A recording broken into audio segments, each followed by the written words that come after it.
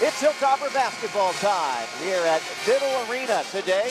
WKU and IUPUI, and thanks so much for joining us from our Bluegrass Cellular Press row seat. Front court to Esposito, right side. Down the right wing, back to Esposito for 23 foot three, and it's good.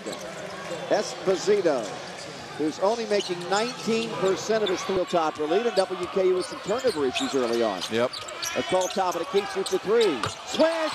How many 6'11 players in college basketball can make that shot? 13-7, Hilltoppers by 6, 11.30 to go first half. Esposito works the ball up and down with the dribble. He's a senior from Indianapolis.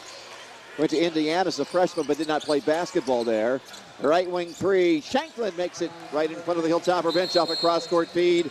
And a whistle has been blown. Kamene is in, bothered by a bad ankle, but he checks in. And now Crook has the baseline left in a double team. On the wing to Kaspar, and he fires a three. And Kevin makes it. And Kevin's pretty excited about that make. He's been working overtime on his jump shot. Hard to the hole, went up for the shot and just fumbled it, short armed it. Retrieved out of midair by Drain. Front court to Crook, flying front court, left wing Kaspar for a three. Oh, yes, sir. Molly, back to back from And timeout taken by Todd Howard. He's made four, but he's hit two here. And WKU now 19 to 10. So Kaspar, uh, not Samson. It's not in the hair. Three-pointer was faked by Hubert. He goes back out front the Trials again. A big bunny hop in the lane for a floating hook shot. Missed it, got it back again. It's knocked away, and it retrieves it a second time. On the right wing for Shanklin. Head fake Kaspar. Kaspar flying by him, and Shanklin drills a three. That's the second time he's made one from the same spot. Here's Shanklin between the circles. Nice bounce pass to Hart. Dumps it on the baseline to Gibbs against Span. Down the wing for follow three by Franklin. Good. He's three for three from downtown.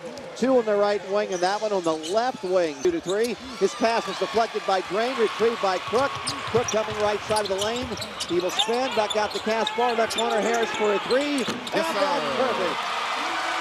Great ball movement by the Hilltoppers in transition. One minute to go. Childs being pressured, make that Shanklin being pressured by Crook out front into the lane now with the dribble, bouncing it to Childs for a baseline jumper, and it's up and in from three-point land. Top of the key to Crook. Crook, right side Harris. He'll shoot a three overhand, and he made it! Wow. That was a forced three Harris. Kaspar on the right, baseline to Drain, back to Kevin, out front to Crook, left to the key three. 17 points for Jamal Crook, his first three. The Toppers have really done a nice job of moving that ball around the perimeter. Randy, the Jags had two points in the paint at the half. They've got 12 now, so they've got 10 this half. Kaspar rims in a long-range three from the left wing, and that's his third today.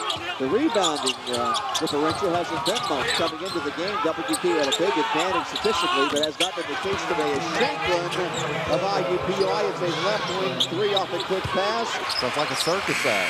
Shot Got the buzzer from way out front, misfiring, and the Hilltoppers win this game by 20 over IUPUI, 77-57.